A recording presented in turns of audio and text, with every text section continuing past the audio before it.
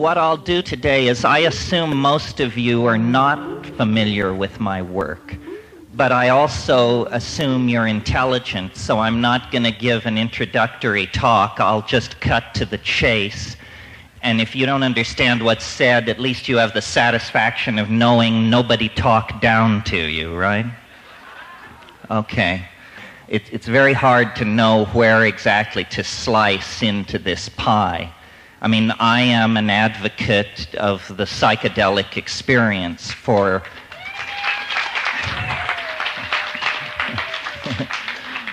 for personal growth work, for shamanic exploration, as an enzyme for the imagination, as a force that forces us to grow up and to clean up. However, what I want to talk to you today about, because this is a pagan community, and because I think the argument, if it's not understood here, won't be understood anywhere, is I want to talk about the social impact of psychedelic plants on human consciousness, both in the present and in the remote past. Because my approach to psychedelics is not to see it as a religious freedom issue or a personal self exploration issue. Uh, that's all there. Uh, but I believe that we cannot really understand what it is to be a human being and how we came to be human beings without factoring into our explanations this most taboo of all subjects for the Western dominator mind, the subject of boundary dissolving, consciousness expanding plants. And so every point of view has a cosmology, a myth of its meaning. And as quickly as I can, I want to tell you the myth that, to my mind, unites paganism, psilocybin, sexual freedom, the peril to the earth, and the hope for the future all into one very nice, neat package. And it requires a, a, a, kind of an anthropology lesson. First of all, our fellow voyagers along the way, the scientists, have created, as you all know, the theory of evolution which has been the great crowning achievement of biology over the past hundred years. First, the Darwinian understanding of natural selection and random mutation, then Mendelian genetics, the discovery of the particulate nature of the gene, then uh, still later molecular genetics, the elucidation of DNA, so forth and so on.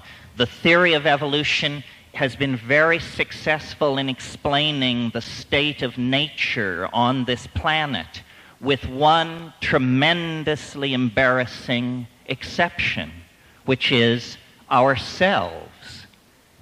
Biological evolution cannot account for a phenomenon like minded human beings involved in the building and maintenance of global electronically sustained societies. How do we do it? Well, we do it because we have a vastly superior cerebral architecture to any other organism in nature. And the interesting thing about that architecture is that it sprang into being in the blink of an eye, geologically speaking. The human brain size doubled in less than two million years. This is the most dramatic expansion in the size of a major organ of a higher animal in the entire fossil record. It would be, under any circumstances, an embarrassment to the theory of evolution. But notice that the theory of evolution was generated by the very organ we're discussing. So it is doubly embarrassing.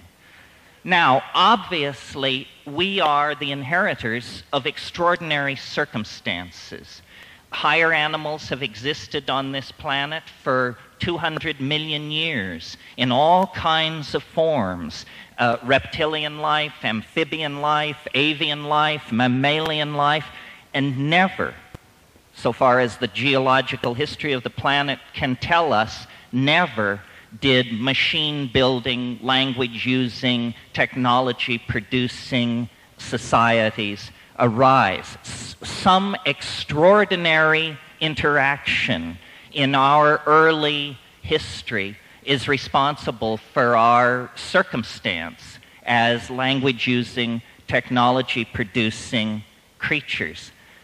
Okay, end of introduction. Here's the scenario, and it, I hope it has special resonance for this community.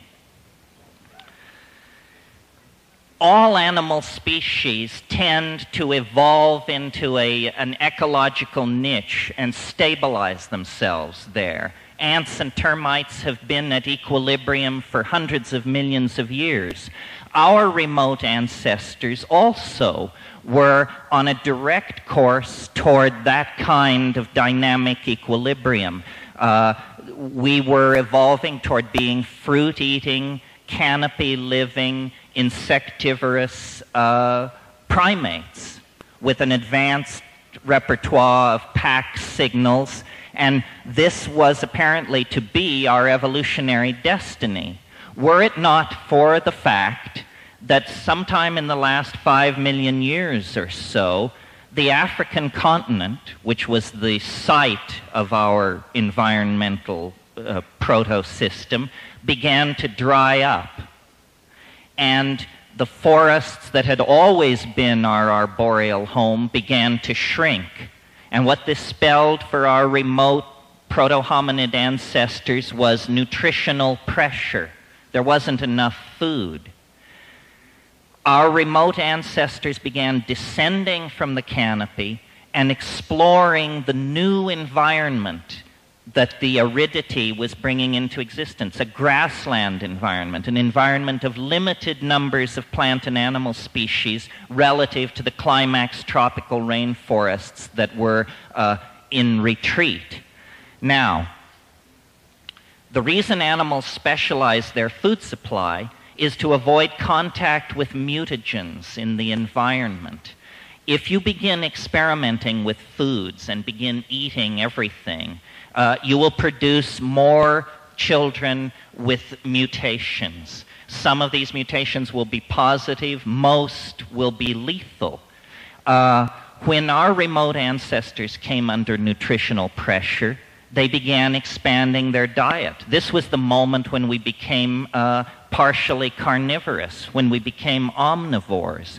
And had I more time, I would lay out many examples of specific plants such as plants that contain birth control alkaloids and things like that, specific plants that would have impacted uh, early human emergence. But I want to concentrate here on one plant, and that is the psilocybin containing mushrooms that grow in the dung of cattle.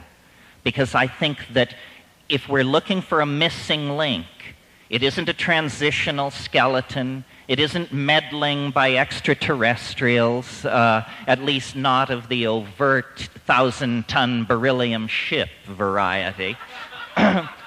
it has to do with the fact that we began to allow into our diet an exotic pseudo neurotransmitter that was part of the native flora of the grassland and I believe that, you know, in the next 10 minutes, I can at least make it seem plausible to you that this mushroom was the triggering factor that moved us from being an advanced hominid, an advanced animal, to being, in fact, a conscious, self reflecting, caring, thinking, dreaming, striving human being. And here is my answer to this riddle where did human consciousness come from? It begins like this. In that foraging phase, where we were testing all kinds of plants on the grassland, small amounts of psilocybin mushrooms would have naturally been eaten in the process of eating corms and things like that. I personally have seen baboons uh, in Kenya investigating cow paddies on the savannah uh, because they know that bug uh, pupa will be under the cow patties. So the cow patties are already set up as vectors for possible sources of nutrition. So there is no question that these proto-hominids would have eaten psilocybin in small amounts. And by small amounts, I mean amounts so small that if you were to eat that much, you would feel nothing. But uh, it's, this dose level has been studied and it causes increased acuity of vision. You can actually give people small amounts of psilocybin and then give them eye tests, and they do better if they're slightly intoxicated than if they are not. The guy who proved this, the Viennese psychologist Roland Fischer, when he described these experiments to me, he said, and so you see, my young friend, here we have a case where the use of drugs actually introduces us to a more true vision of reality than if we have avoided the drug. Scientific proof that the drug is telling you more about reality than if you had refused it. All right, now, what kind of visual acuity is it that is being improved? Well, it turns out it's what's called edge detection. In the grassland environment, where the movement of small animals means dinner, and the movement of large animals means you become dinner, a plant which confers increased visual acuity is going to immediately confer an adaptive advantage on those members of the group that let it in. Those members of the group that refuse it out of aesthetic or, or gastronomic reasons will tend to be outbred because the psilocybin using members of the species will be more successful at obtaining food and at surviving to raise their own children to reproductive age, which is the name of the game in, uh, in evolution. So, that's step one of a three step process that leads to the explosion of consciousness in the, in the hominid brain. Step two, which should have special appeal for this crowd, is that when you take slightly larger doses of psilocybin, not religiously profound doses, but, but doses which you definitely feel, psilocybin is what's called a CNS stimulant, a central nervous system stimulant. What it causes in, in animals is what uh, neuro- neurophysiologists call arousal. And in highly sexed animals like primates, arousal means in the male erection. So, what, and an animal then which is allowing a, what is essentially a sexual stimulant or an aphrodisiac to enter into the diet, there will be more instances of what anthropologists call successful copulations. And God knows we need that. So, if you have more successful copulations, you have more pregnancies. You have another, a second factor, outbreeding uh, the non psilocybin using member of the population. Now, something really important here that is my, well, this whole thing is my theory, but here's the part of it that I like the best all primates, all primates have what are called dominance hierarchies or male dominance hierarchies. This goes right back clear to lemurs and the old world monkeys, which are much more, I mean, yes, the, the new world monkeys, which are more primitive. Uh, all primates have this dominance hierarchy, and what it means is the sharp fanged, hard bodied young males, they control the women, the children, the elderly, all sexual minorities, everybody is under the thumb of the alpha males. And as we sit here today, though this community may strive to be an exception, as a society, male dominance is an enormous dilemma for us and an enormous distorting factor in our politics and in our lives. So, my notion is that psilocybin, by promoting this polymorphic sexual style, actually acted as an inoculation against monogamous sexual styles of bonding, you see. And it isn't that the monogamous style, the dominator style, disappeared, it was simply medicated out of existence for perhaps a hundred thousand years. It was medicated out of existence. Now, and, and what it promoted, this arousal, this psilocybin taking around the African campfires by these primitive nomadic pastoralists, what the, what the social change that came with it was, was an orgiastic sexual style. A style where everybody would get loaded around the campfire and then hump in an enormous writhing heap. Now, yes, now, now, besides the fact that uh, this is a great deal of fun, it has a very, very profound social effect, which is in societies which allow orgy, men cannot trace lines of male paternity. Men cannot trace lines of male paternity. What does this mean? It means that men do not identify with children as property. It means that the men of that kind of a social group can only think in terms of our children. We, the group, our children. And it creates an immensely cohesive social glue that I believe held these societies together for millennia. And I believe that during this period of pharmacological suppression of male dominance, we became human beings. Theater, poetry, magic, art, altruism, uh, dance, symbolic and cognitive activity of every sort was born in that window of opportunity when there was simultaneously a chemical suppression of male dominance and consequently an opening to Gaian intentionality, to the intent of the larger biological systems in which the human system was embedded. And a kind of paradise came into existence. There were actually two phases.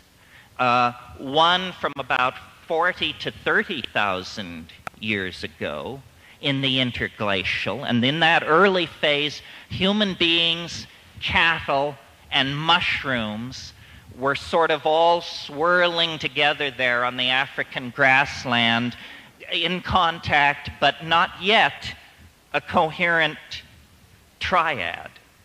The second partnership paradise arose at the last glaciation, uh, at the melt, during the last glacial melt, and lasted from about 20,000 years ago to perhaps as much as, as, as recently as 10,000 years ago. And it was in that later phase that uh, uh, the Magdalenian explosion occurred and the social forms were put in place that Hellenistic paganism was looking back at with a nostalgic and barely cognizable memory. There was an old, old memory of a kind of paganism that was old 5,000 years before Eleusis laid its cornerstone. I wrote a book called The Archaic Revival, in which I tried to say that the entire cultural impulse of the 20th century beginning with Freud and Jung discovering the unconscious, beginning with Picasso dragging back primitive West African masks to Paris and inserting them into his paintings, Dada, pataphysics, jazz, abstract expressionism, even phenomena like National Socialism. All of these various impulses in the 20th century, some positive, some negative, all have a common theme archaism. Archaism, a nostalgia for a state before history. And as this tendency, this nostalgia, has been sorted out over the last hundred years by generations of scholars, beginning with you know, Freud and Jung and Blavatsky and Crowley, and then coming up through all the folklorists and deconstructionists. As this thing has been teased apart, it has become clearer and clearer that the paradigmatic figure in any archetypal revival is the maker of magic, the shaman, the wizard, the seeress, the person who is in control with invisible forces.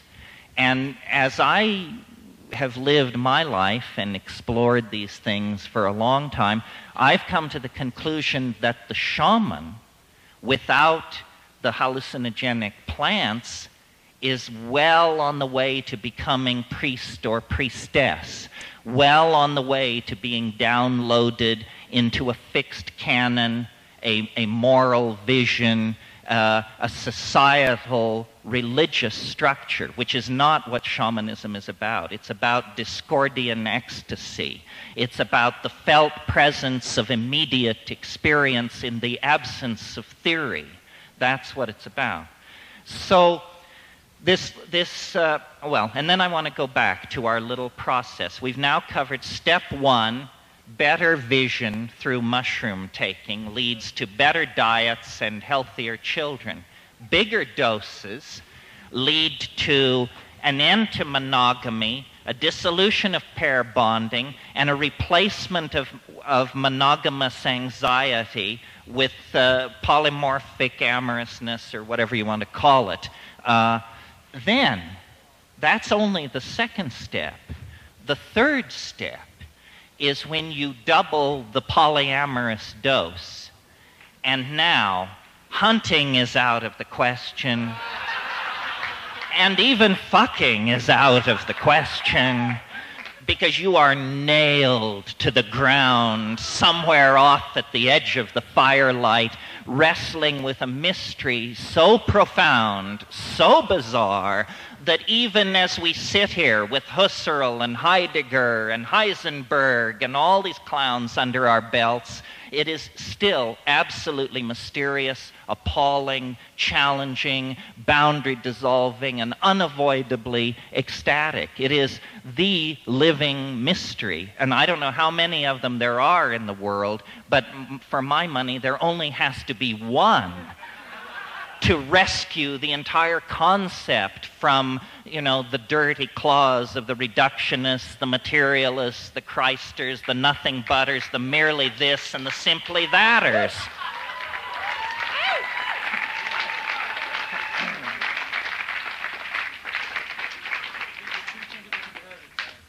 Yeah, I know I'm preaching to the converted, but if I if I preached to the unconverted, I'd be hung from the yardarm.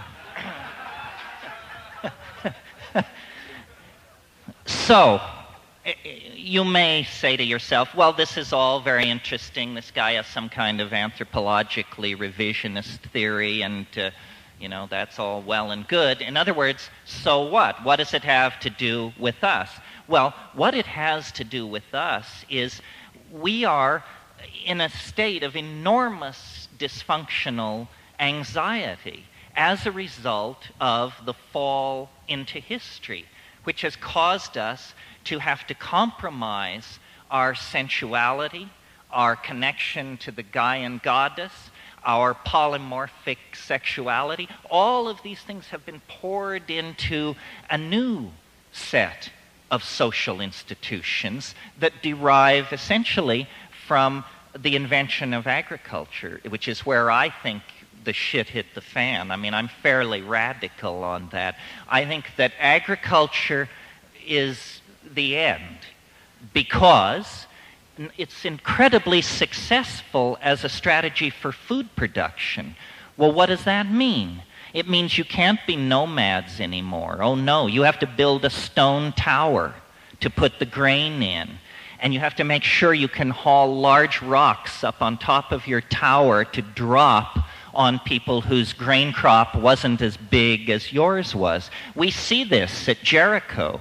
The most advanced building in the world of 10,000 BC was the grain tower at Jericho. And it was defensive, and it bespeaks, you know, the primal paranoia. Once people stopped moving across the land, once they violated it with the blade of the plow, then you get sedentary populations. The division between uh, the, the, the profane world of the city and the wilderness outside. That's the moment when the division between the unconscious and the conscious mind comes into play. And an entire set of institutions arise then male kingship, standing armies, role specialization, slavery, women as chattel, uh, uh, so forth and so on. I mean, we are the unhappy inheritors of this hideous plunge into dysfunctionality. Now, why is it such a hideous plunge into dysfunctionality to live without psilocybin or close relatives thereof? The answer is that this thing, which to now I've described as male dominance and a tendency to form dominance hierarchies, we can describe another way and bring much closer to home by saying it is the ego. The ego is a late arriving, very tenuous, highly uncertain of itself social structure that has taken root in the human psyche like a tumor, like a, a, a growth of some sort. It is the leftover of this primate dominance complex. And the way it manifests itself is by the establishment of boundaries. First of all, this is my body, do not touch it. Second of all, these are my weapons and, and agricultural tools. Do not touch them. This is my woman. These are my children. I hunt there. So forth and so on. It's this division of the world that allows the illusion of the ego to come into existence. Now, what do psychedelics do, and why are they such social dynamite? The answer is it's not a health issue. It's not an addiction issue. It's not, I mean, that's preposterous. It's about boundary dissolution.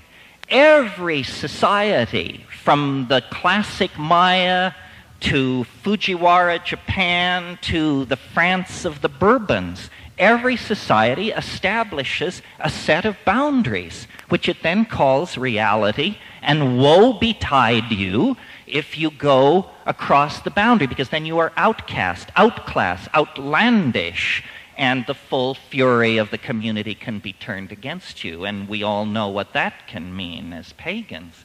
So I, I believe that the ego is a dysfunctional uh, psychic invader and that it will continue to strengthen and perpetuate itself as long as we do not institute, either as groups or within our relationships or as individuals, a regular ritual encounter with the forces which dissolve these boundaries. And the only force I know that works are these plants. And as I say, I'm not interested in arguing whether there are other methods or not. God, I would hope so. But anything I ever looked into, and I shopped the spiritual supermarket from stem to stern, was horseshit as far as I could see. Now, I am not a sensitive. Let me say that. People say, well, but what about Ramana Maharshi and what about Jakob Böhme? And hey, it's great for those folks. I applaud arhats and avatars and so forth and so on. But what I'm interested in is democratic ecstasis. It should be for the most lumpen among us. It, it is. Uh, it is not to be attained by an act of dietary uh, control, sexual abstinence, or, uh, you know, whatever. It, it, it should be, it is a human birthright. It is a human birthright to touch uh, the incorporeal body of the goddess. It isn't something.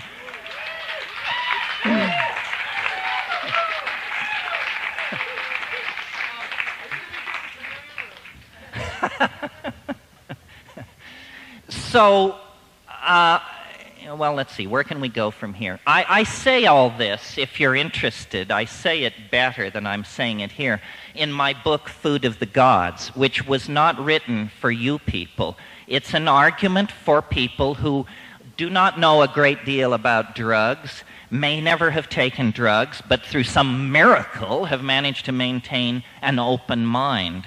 Uh, all, uh, you know, and, and I don't know how much you know about my shtick, and I can't get into it now, but for me, these things are more than tools for exploring the Freudian or Jungian unconscious. I mean, I journey to inhabited worlds that are there are echoes in Elfland and Fae, but you know, as a rationalist, as a as a aspiring astronautical engineer at age 13, it's astonishing to me that I could validate the mystery through doubt, through doubt.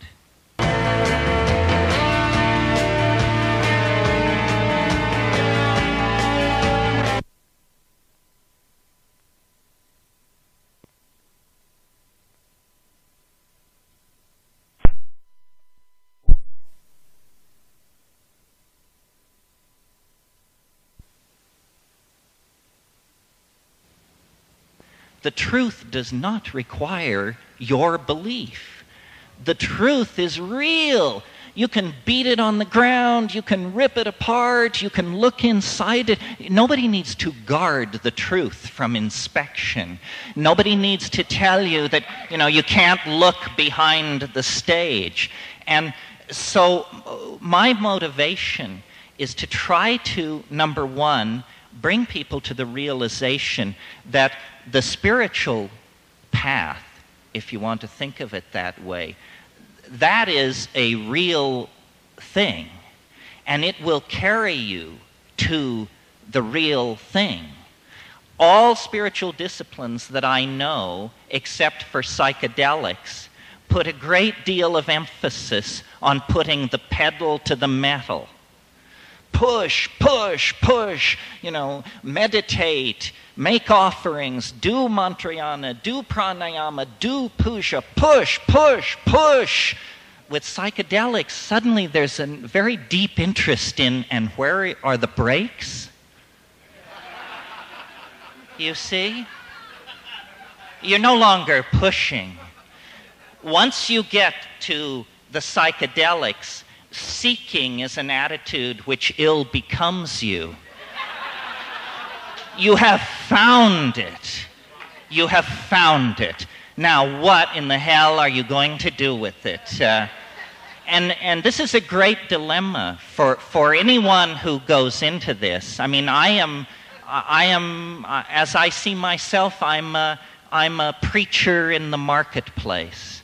Uh, but I know and I'm sure most of you know, that I could walk out of here, you could walk out of here, and you could go as far as your courage would carry you. There is no barrier.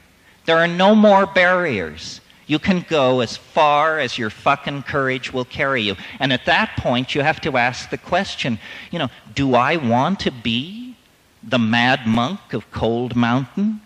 Do I want the villagers to, down in the valley to say, oh, yes, we see him occasionally up in the mist, naked, flying with the eagles? Uh, because you can be that person. you know, you don't have to go back to your job as ad exec, stockbroker, or, or whatever it is. And so we, we stand on the edge of being able to leave history. We can leave it. You know, we tend to forget because our, our lives are so brief that what we call the psychedelic experience is very, very new on the plate of Western uh, uh, occultism and science. I mean, hashish did not make great inroads into medieval Europe. That all came later in the 18th and 19th century. Chloroform, ether, these things don't cut it. Mescaline was uh, synthesized for the first time in 1888. These things had to compete with many other interesting areas of scientific exploration in the 20th century. We have not come to terms with what they mean and what they are. Uh, and it's a curious area because the counterculture, whatever that may mean, knows a great deal more about this than science. I mean, science does not explore this area because it senses enormous danger for its ontological machinery. It probably couldn't survive the encounter. And therefore, it's just said, well, it's psychology, it's marginal, it's fleeting, it's non irreproducible, and so forth and so on.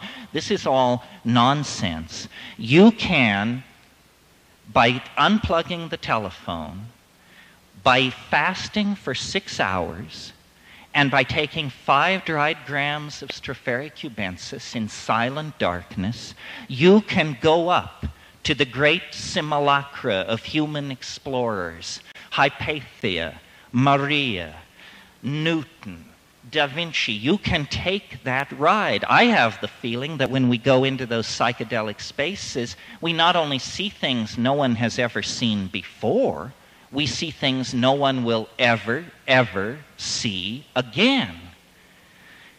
Okay, one, one last thought I want to put out, and then I'll try for some questions.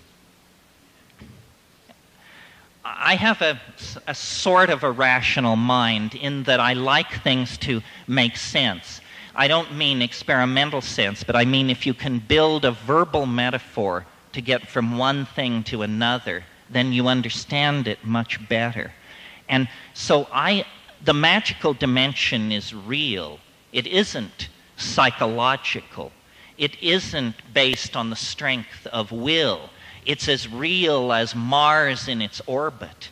I mean, there's real estate out there, folks. It's that real. And so then uh, the question becomes uh, how to vivify it. And the answer is by creating a consensus in language, by having it made illegal. It's like where sex was with the Victorians. You know, everybody was inventing the wheel over and over again. What we have to do is begin to build a consensus about this realm. And, uh, you know, this may be heresy in a community as oriented toward tradition as this one seems to be. But, and the generally pleasant position to take is that everybody has a piece of the action. You know, the Hasids know something, the Buddhists know something, the Book of Mormon, there's something there. The mushroom was incredibly ungenerous on this point.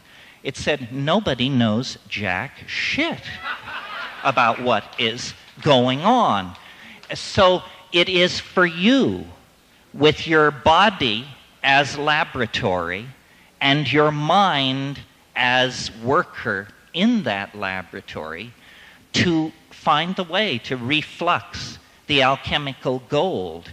The only experience which counts is your own experience. Everything else is somehow handed down through social structures and political structures. It, it's irrelevant. If flying saucers were to land on the south lawn of the White House tomorrow, it would not matter to you as much as smoking DMT would if you did that tonight, because that's your experience, your conviction, you see.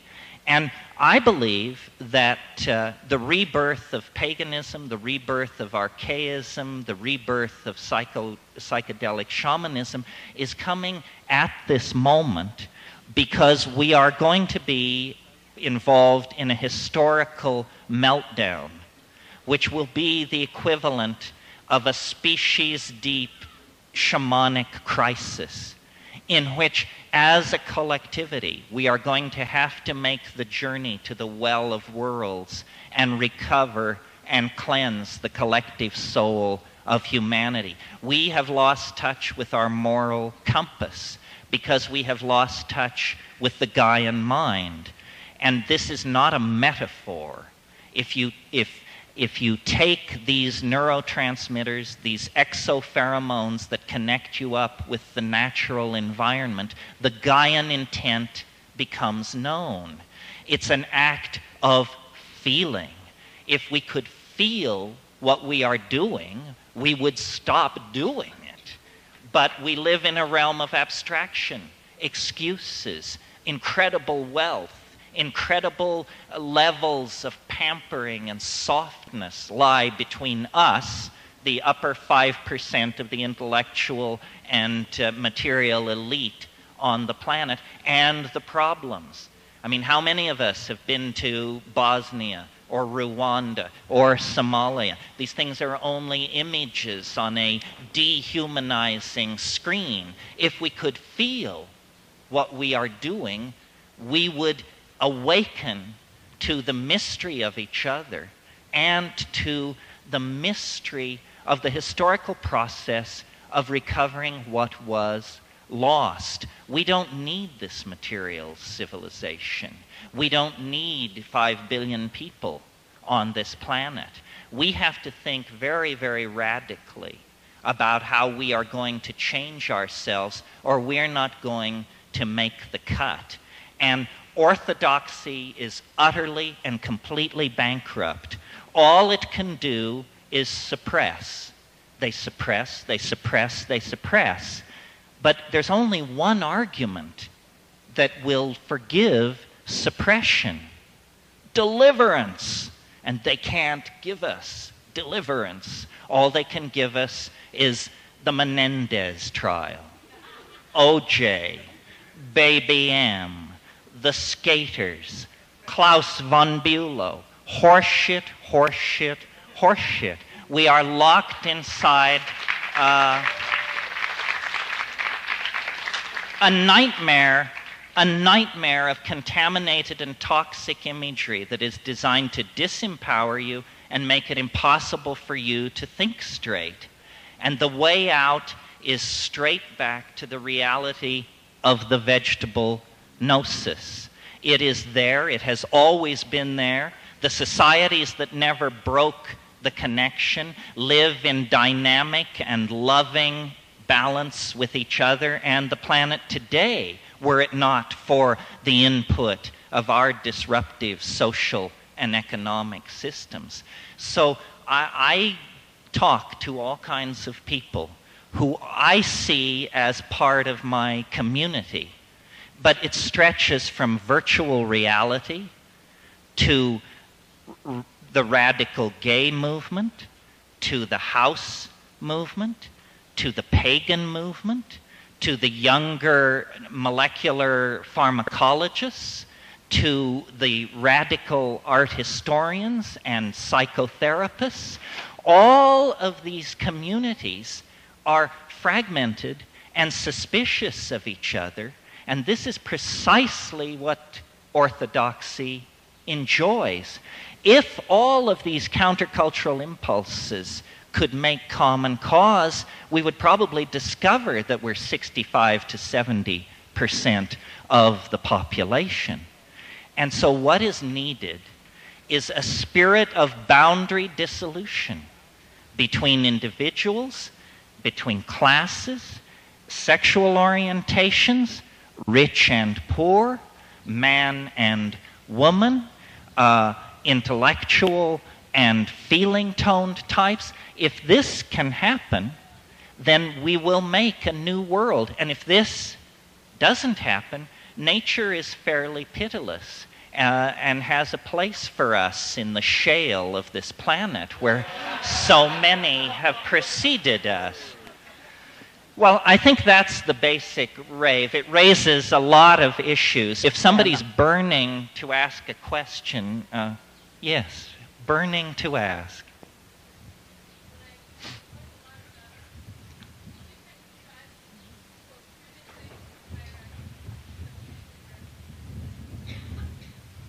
Well, I think that uh, it's very hard to find pristine, quote, pseudo Paleolithic or pseudo Neolithic culture. Even the Amazon, where I've spent a lot of time, uh, tribes that were nomadic at the time of, of uh, contact are now agriculturalists simply because missionary medicine has swollen Aboriginal populations to the point where they can't be nomads as they used to be. So you're right, there are some psychedelic using cultures that are pretty uh, uh, unappealing, although actually I can only think of one that I find politically very unappealing, and I don't want to knock them because I haven't lived with them, so I may be misled. But I think that uh, it's not simply to take psychedelics but it's also to decondition oneself to the notion of ego and all the concepts which constellate around that, such as place, property, ownership, and stability. You see, the idea that we have inherited from Western religion and science is uh, the idea that things should be stable. This is a very male dominant notion, the wish for stability, eternity, uh, when in fact the message life hands you over and over again is nothing lasts. Nothing lasts. Not what you love, not what you hate, not your enemies, your friends, not even your dear, dear self. Nothing lasts. And the ego goes mad in the presence of that truth it, it, it can't swallow it. And so we have anxiety of death, need to dominate people, need to possess property, uh, terror of illness, uh, resentment of fate, because we are not in the flow. And I think what these psychedelics do is they put you very much in the here and now. And it's nothing more than that. I mean, obviously, I'm an egghead and an abstract thinker, and I hope to make my reputation in mathematics. But feeling is the primary validator of existence. I mean, if you don't know that, you, you, you've got to go back to square one. And these things empower feeling, they are catalysts for the imagination. I mean, you may not like what psychedelics do to you, they may terrify you, but if it terrifies you, then surely it must have catalyzed your imagination, or you wouldn't have known that terror. So, catalysis of the imagination in a fairly loving and yet ruthless way is what the psychedelics deliver. Anybody who calls this escapism is sitting on their thumb. I mean, they don't know what they're talking about. Reality is for people who can't handle this stuff.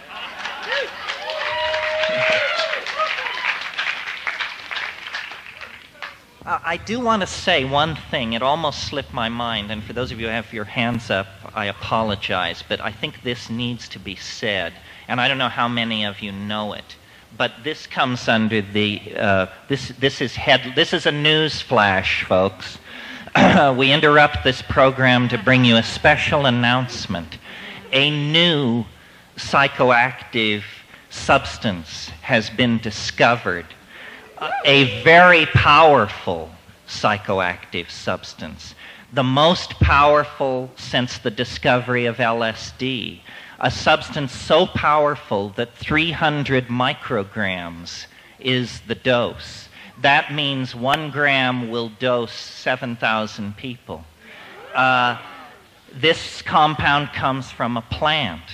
The plant is, and I hope you're paying attention, the plant is legal. The compound is legal. You can possess it. You can manufacture it. You can transport it across borders. You can give it away, you can sell it, and you can do it on stage. And it comes from a plant. And the plant is also available. And, and I want to tell you about this because I, I okay, no shoving, no shoving. All right, the, not to keep you in suspense any longer. Uh, the plant is Salvia divinorum. Salvia divinorum, which some of you who are real mavens of this stuff know, have know it. It's been in the books for 30 years. The problem was nobody knew how to get off. And so it was always carried in these lists as suspect hallucinogen. The thing is, any scientist confronted with a plant where somebody says it's a hallucinogen will test to see if it's an alkaloid.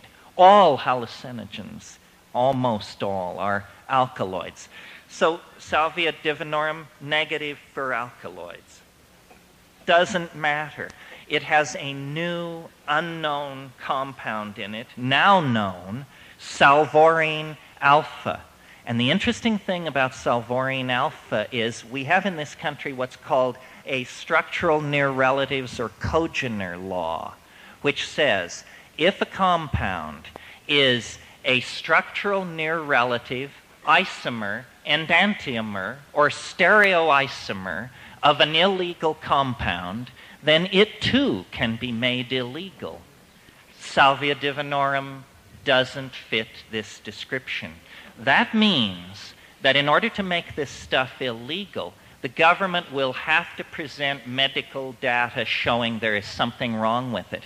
And at this stage, nobody on earth knows the real pharmacological parameters of this compound. So here's the deal you can grow this plant in a window box, in your apartment, in your backyard. It looks like Joe Plant. There is nothing particularly distinguishing about this plant. And if you have three or four cuttings, in six or seven months, you will have more than you know what to do with.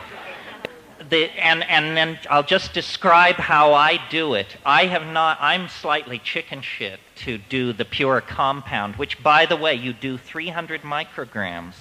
Understand that what that looks like is a grain of salt. A small grain of salt is a human effective dose. It comes on so fast that you have no impression of it coming on at all. You do it, and then after a while, you notice that for a long time you have been staring at something incomprehensible.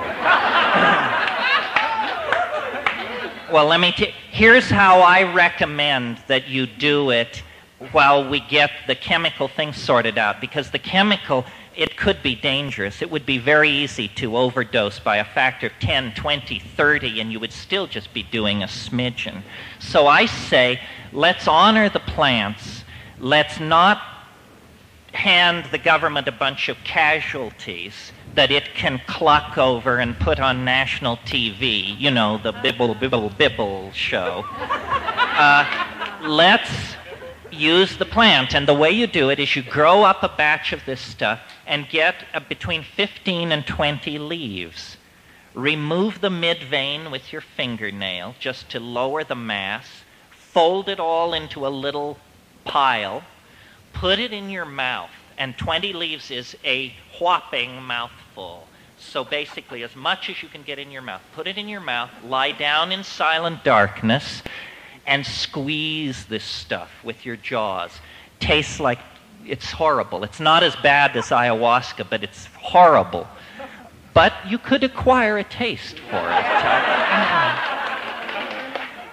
so lie down in darkness where you can see a digital watch. Uh, one of these red flashing jobs like a Kmart deal. And, and then let it don't swallow it, but just squeeze it and masticate it. At 15 minutes by the clock, spit it out into a bowl or a Kleenex or something, and then just lie there, lie still in the darkness with your eyes closed, and look.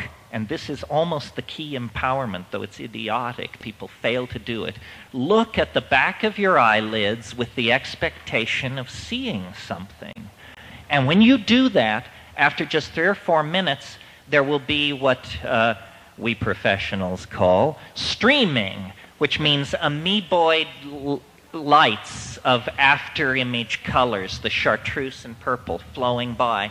And about three minutes after that, it will deepen very, very quickly into extraordinarily bizarre, uh, dare we say it, fairly DMT like hallucinations. And it, it, it builds fast. I mean, so fast that there is this wonderful moment in it where you actually know real fear, which shows you that it's working. I mean, I really believe if, if, you're, if, if you take a psychedelic and you're not afraid you did too much, you didn't do enough. Uh,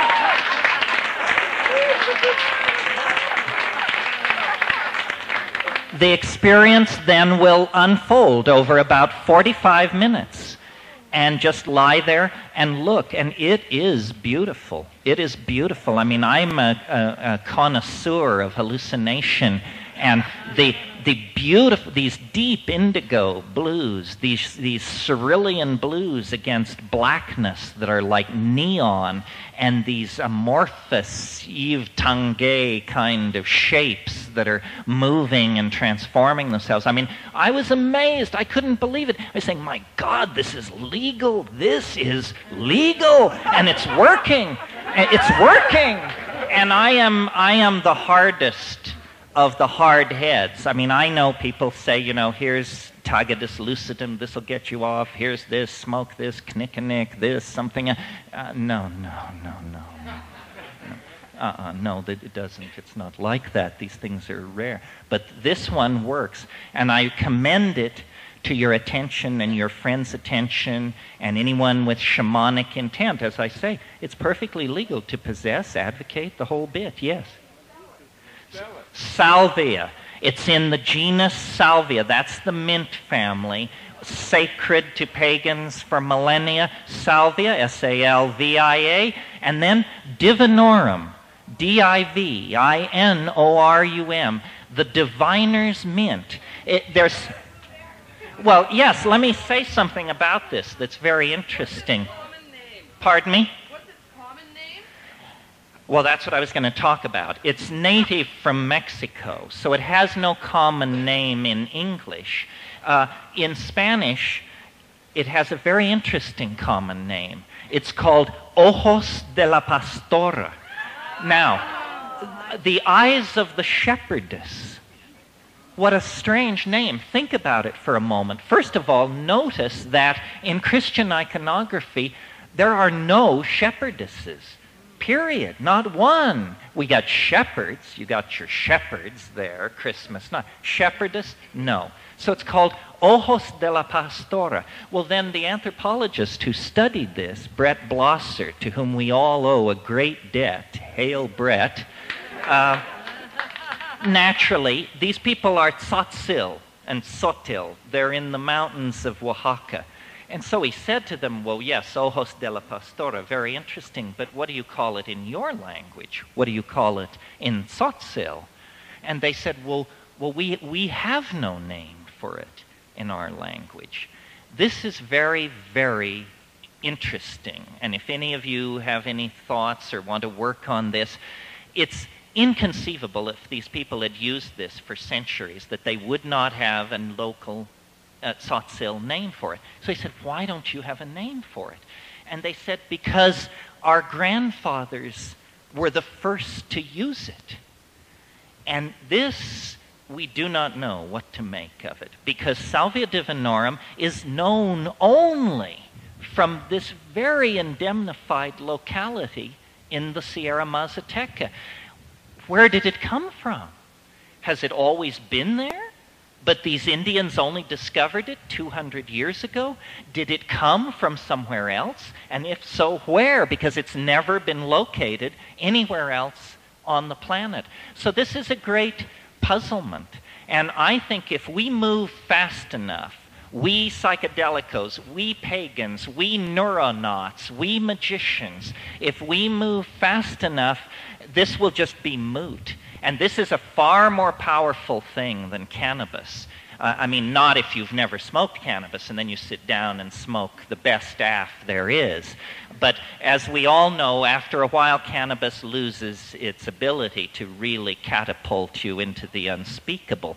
The, the Salvia divinorum, every time I have taken it, it's gotten better and stronger and weirder. So I think it is sent from the goddess at this time eyes of the shepherdess. These are the eyes we should be looking through. Okay. I think several people at once asked, Where do you get it? Uh, you must each have your own favorite rare plant dealer.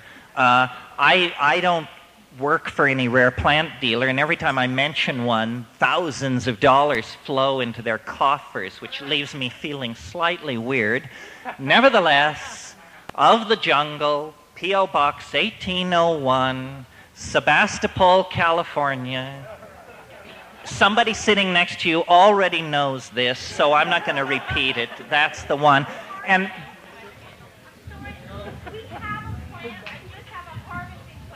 a harvesting question.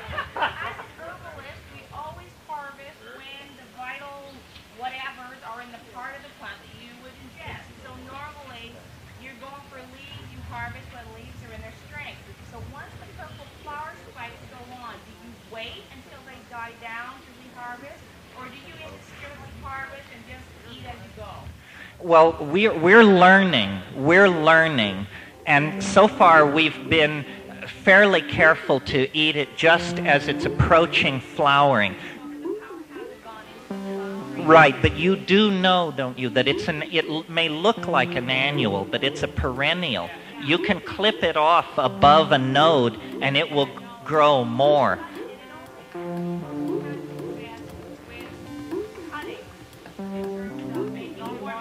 Yeah, no, seed is a pain, is a pain. Try and do it with cuttings. That's about all I can say about it. All right, I'm going to knock off. Thank you very much. Hey there, thanks for listening. Wizards of Word is a passion project of mine, and every like, comment, and subscribe really helps the channel out. If you enjoy this video or get something from it, please consider smashing that like button or giving a subscribe. I'd really appreciate it. Thanks.